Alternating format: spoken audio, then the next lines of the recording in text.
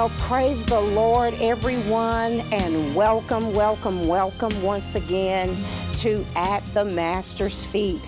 I'm Pastor Regina Moore, and as I always tell you, it's such a blessing, such an honor actually, to be able to join you in your homes every Tuesday at 11:30. Thank you all for staying up. Praise God. You know, it's it's a blessing. We count it an honor to be able to come and just share the word of God with you because that's what He has sent us to do. That is one of our purposes during this time, during this broadcast, is that we bring the truth of God's word. Amen. This is not a time where we're trying to make a name for ourselves or we're trying to lift ourselves up. There's already a name that we know, you and I, brothers and sisters, that we both know, and that is the name of Jesus. And we want to bring glory to his name. Amen. We want to bring honor to him. And that's what we want to do during this time,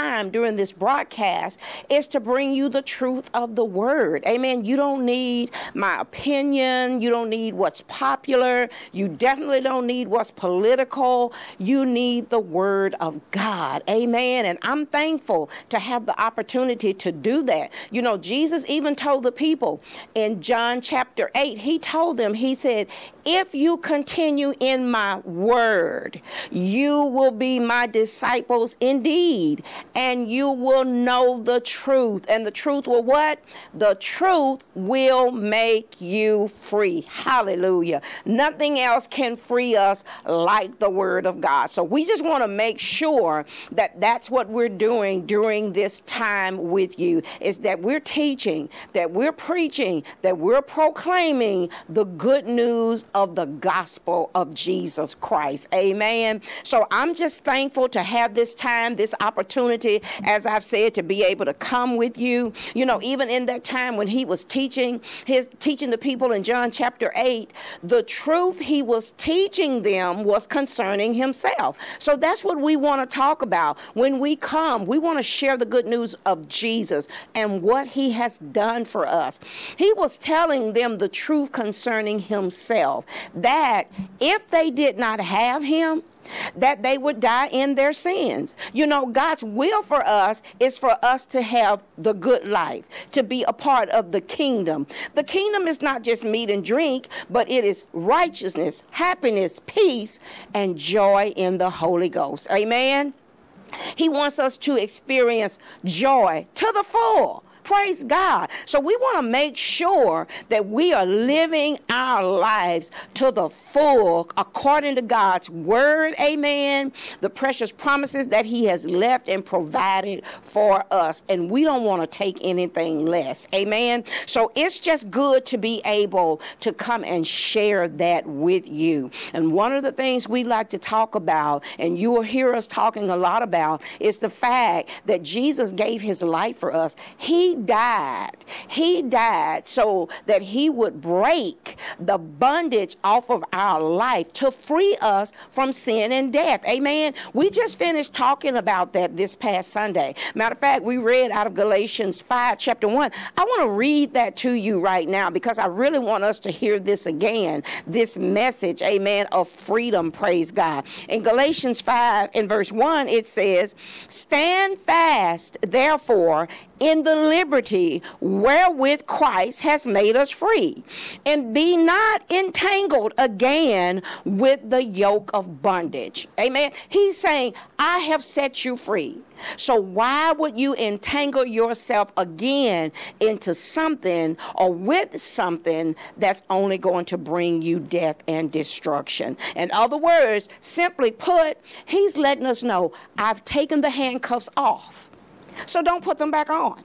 Amen. Simply put, I have released you, I have freed you, then don't entangle yourself again. We have choices. Don't do it to yourself, and don't, whatever you do, allow anyone else to do it to you either. Amen. The Bible tells us Jesus became a ransom for many. And you and I, brothers and sisters, know that the only time a ransom is needed is when someone has been kidnapped and being held against their will. Amen. So he came, he offered himself. He took our place. He was the great exchange by his blood, by his death on the cross. Amen. He took our place and he freed us in the in the snares, in the bondages that we were once held captive. And I, I know you will agree with me to say that is the good news of the gospel. Amen. There is nothing. If you've ever experienced any type of bondage, whatever it may be, it doesn't have to be a physical jail, but it could be something that's got you so held captive that you cannot enjoy life. You're full of fears and doubts. Amen. That's bondage. God does not, He does not want us, even in this season, the things that we're experiencing, He does not want us to walk in fear. What He wants us to do is to know our God and to trust Him, to know that faith comes by hearing and hearing by the Word of God. Amen. So that's what we want to continue to bring you during this broadcast. Amen. And we are just so thankful to have the opportunity, as I said, and as I continue to say, to just keep saying that we're thankful. We do not count this, we don't take this time lightly. We really do not. Amen. And I say we because past I, as pastor, pastor and the congregation here at Soul Gathering Ministries who assist me and help me and pray for me and support me and support this ministry. We do this work together. Amen. So we just want to continue to just share with you the good news, the truth of the Word of God. And then to just share a little bit about what the ministry is all about. Amen. This ministry, birthed by God, the vision is very clear. The vision is to minister the ministry of reconciliation. You know, we used to say the vision was to reconcile the lost and equip the body of Christ. But you know, when you really think about it, all of the reconciling has already been done. Jesus Christ has done that already. So, what our job is now is to minister the ministry of reconciliation. And that is just simply sharing and reminding with you, reminding with those we encounter on a daily basis, on our jobs, or wherever we may be, that Jesus Christ, that God loved us so much that he gave his best. And his best was in the form of his son. So that is why this ministry was birthed to minister the ministry of reconciliation and to help equip the body of Christ to know their purpose and place in the body. Amen. To know what has God called you to? What has God commissioned you to? What is the call of God on your life? Amen.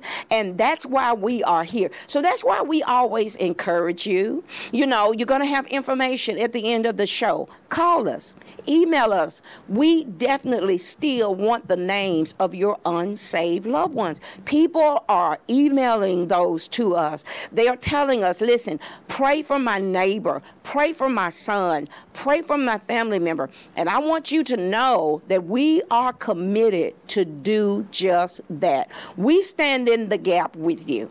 Amen. We stand in the gap with you. We join our faith with yours. And we believe, we trust God that they will be saved. The Bible says if they hunger and thirst for righteousness, they're going to be filled. So we pray, God, let there be an increased hunger, an intense thirsting for you, for more of you, because we know that it's not your will that any perish, but that all may come to repentance. Amen. So I wanted to just have the opportunity to just share a little bit about that, uh, about the ministry with you and why we are here. And once again, how blessed we are and how fortunate we are to have people like yourself to join us at this time. We appreciate you and we thank God for you. Amen.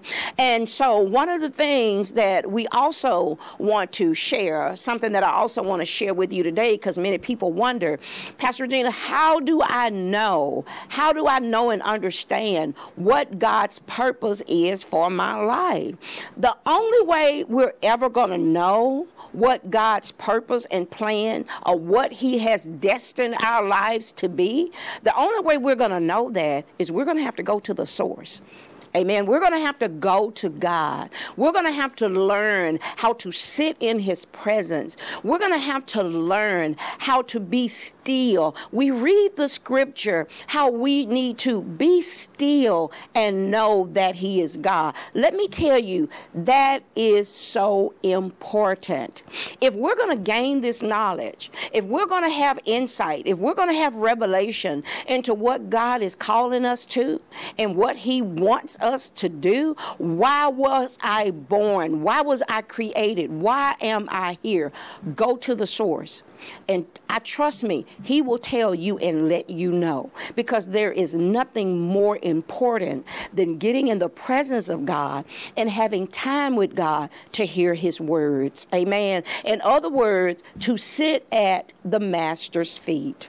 That is how this broadcast was brought about, how it was birthed, because we have to learn that there is nothing more pertinent, nothing more important in this season than hearing the voice of God. I want to read that scripture for, for you where we are taking this from, and it's John chapter 10. I mean, I'm sorry, in Luke chapter 10. It's very familiar.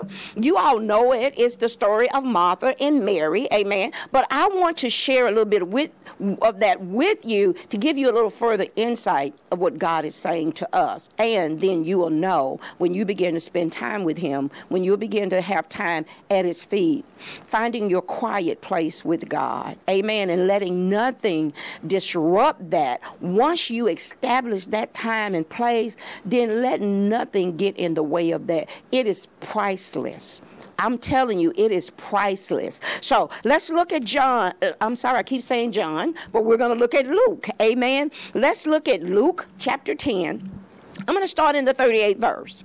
It says, Now it came to pass as they went that he entered into a certain village, and a certain woman named Martha received him into her house. And she had a sister called Mary, which also sat at Jesus' feet and heard his word. But Martha was cumbered about much serving and came to him and said, Lord, don't you care that my sister has left me to serve alone? Bid her therefore that she help me. And Jesus answered and said to her, Now hear this. Listen to what Jesus told Martha. Jesus told Martha this. He said, Martha, Martha. You know, every time, anytime you want to get someone's attention, you want to call, get your child's attention, you call their names more than one time. He calls her Martha, Martha. Thou art careful and troubled about many things, but one thing is needful, and Mary has chosen that good part which shall not be taken away from her. Let me jump over to the Amplified and read it in the Amplified ver- version of verse 41. And the Lord said, and the Lord replied to her, saying, Martha, Martha, you are anxious and troubled about many things. And that's where I want to get to. Learning how to overcome the anxiety, amen, in life when we're dealing with things or when things are dealing with us and we're becoming overwhelmed and you seem as if you cannot see your way out. That's the time when you have to settle your spirit and learn to sit at the master's feet and hear his word, no matter what's going on around you, no matter what is happening. I'm telling you, this is the solution to every problem. I'm going to give you an example. I'm going to share a little bit of my own testimony. Um, it was when God called me to come off of the job to begin the work here at Soul Gathering Ministries. And I, I, I knew I heard his voice. I knew what it sounded like. You know, I was familiar enough to know this is the timing. And he said unto me what I felt in my spirit it's time for you to come off of the job. And I did not hesitate.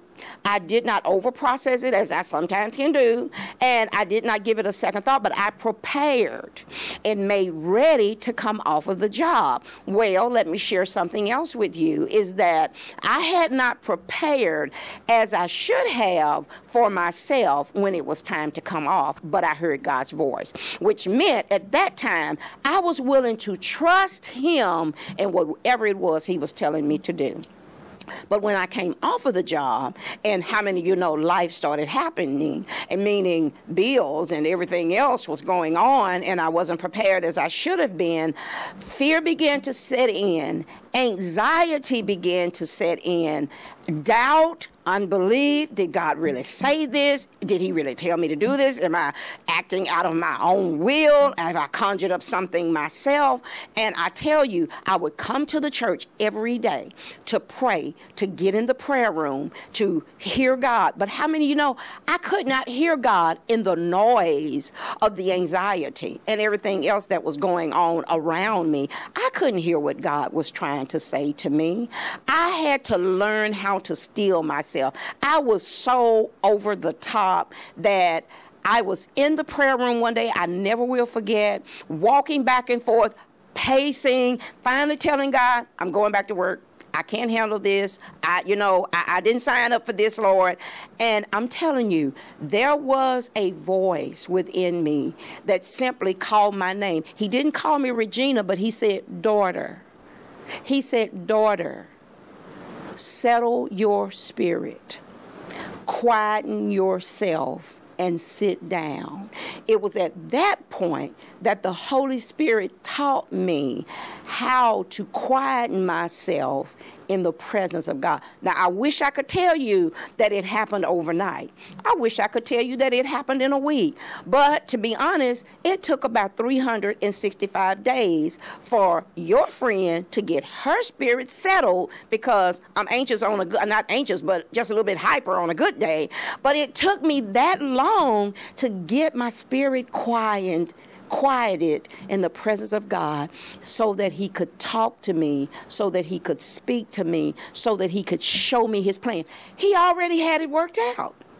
He already had the plan worked out. He already knew what I needed to do.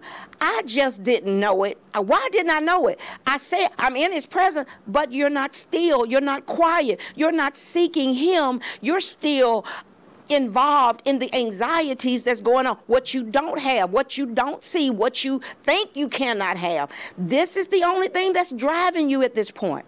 So I had to allow the Holy Spirit to teach me. Trust me, if you will allow Him, He will do it. And you will find out that God is everything that He has promised to us that He would be. If we learn how to get still in His presence, and to seek him while he may be found. Amen. Because when he tells you that the door is open and you must walk through it, then you have to walk through it. But I had to learn the beauty of sitting at the master's feet to hear his word and his instructions for my life. He's going to do the same for you. He'll do the same for you. He'll tell you how to be the type of mother that you desire to be, the type of husband, pastor, whatever it is. The Holy Spirit is available to help us. But once I did that, God began to open up my eyes. He began to speak to me and show me something that was right in front of my face that I couldn't see because I was too worried and distracted. Amen. So I had to learn quieten yourself in God's presence. Sit at his feet. You're listening to a broadcast every week. The words that come, they come because we've taken the time to sit at the Master's feet and hear his words. Amen. It is so important. Martha made an appeal to Jesus. She made an appeal to him because, now let's just be honest, women. We know how it is when guests just come to the house and they came unannounced and things are not just right. Well, everyone wants to be spoken well of once people leave our homes. Amen? So now she's got this crowd of people that she hasn't planned for, and now they need to be served. Amen? They need to be cared for, made comfortable. Jesus is in the house. The disciples disciples are there and all of those who came with them. So she, her mind has shifted to something else, which is very natural.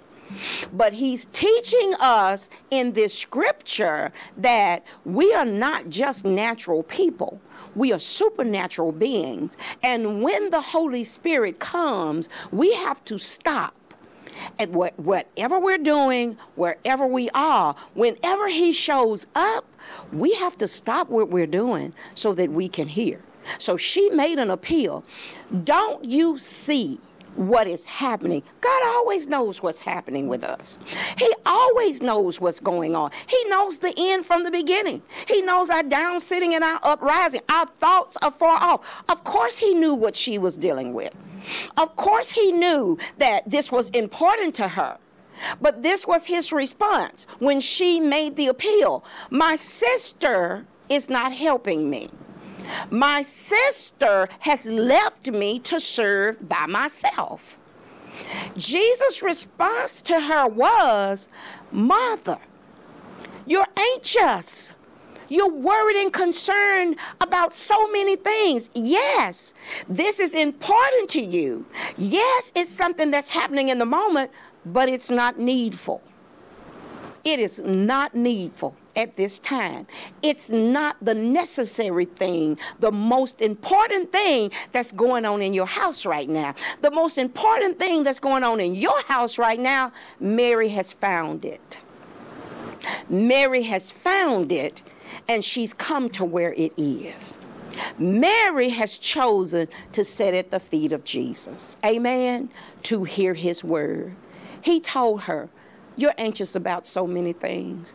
And listen, that's what he's telling us right now. We can get so anxious about so many things, and one thing is needful.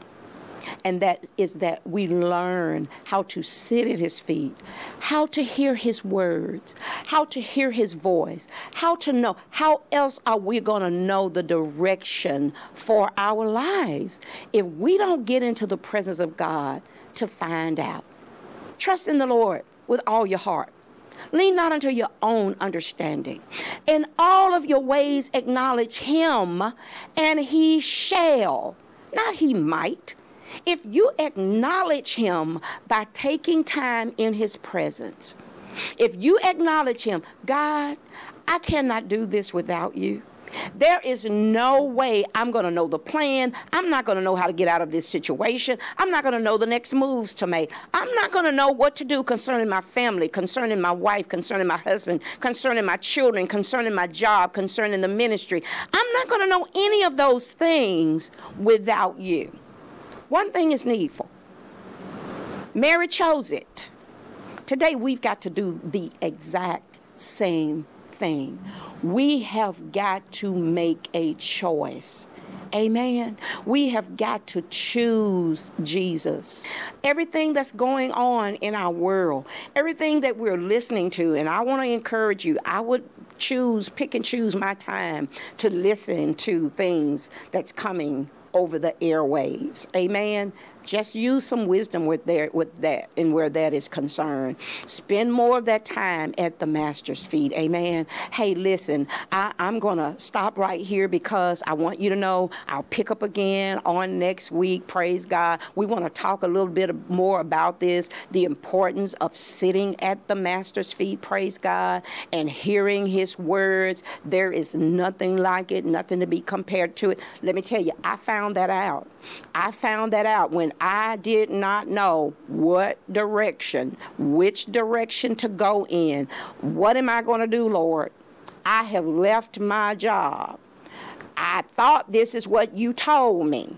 Well, if you believe you heard God, either you did or you didn't. And I can understand we'll get in those times when that's the enemy's plan. He wants you to doubt what God has told you to do. Amen. But let me tell you something. If God calls you to it, He will support you in it. I am a living witness. Amen. Praise God. So I want to continue to share more about this concerning this broadcast, concerning the name that God has given us at the Master's feet. There is so much that we will learn when we take time to get in the presence of God to hear His words. Amen. Now, I want to just thank you all. Those of you, you've been sowing. Praise God. I appreciate God for you. Amen. Those of you who are praying for us, we need you to pray for us. Praise the Lord. Because as I said, we're not just coming on as if we have nothing else to do. We believe that God has called us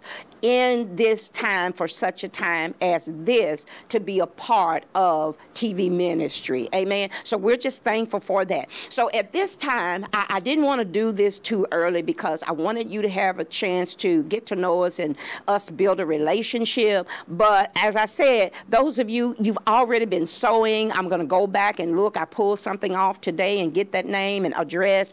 And I just want to be able to bless you with this CD. It is a song and a song uh, music track of a song that God actually gave me, gave us here in this house, and was recorded by myself and um, those here in the body, some of those here that's a part of the ministry. And it's entitled, Lord, Come in This House. God gave me this right here in this house, praise God. And I'm just thankful for for what he did. Amen. You could not have told me that God would have blessed me to be able to write a song, then have that song published, and then put on CD. You want to partner with us? We welcome you to do that. Amen. And we don't want to limit you on a, on a, on a cost or on a price. I just ask that you just seek the Holy Spirit. Praise the Lord that you just seek the Holy Spirit and whatever He tells you to do, I just ask that you do that because I may say a number and your first thoughts was, I want to do a whole lot more than that. Praise God.